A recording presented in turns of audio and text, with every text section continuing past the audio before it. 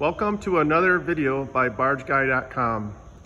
Today we are showing you the smallest power pack that we've built.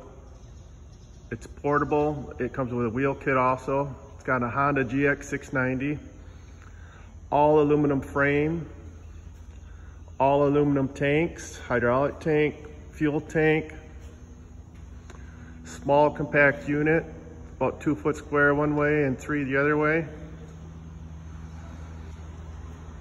It's got internal filter. All you gotta do is open this top, take it out, clean it.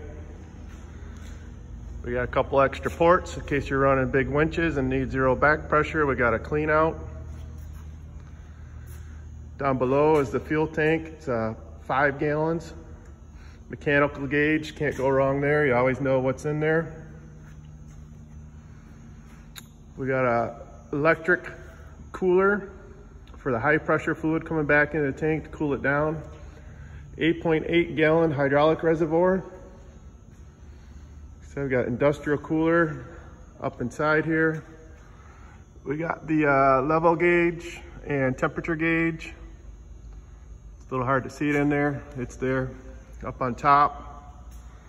We got a lift point so you can pick it up with a crane. This customer asked for a uh, flow control and a valve to run a drill. They're putting in um, pilings. Once again, bargeguy.com, 13 GPM, power pack, all aluminum, marine grade, ready to go in service.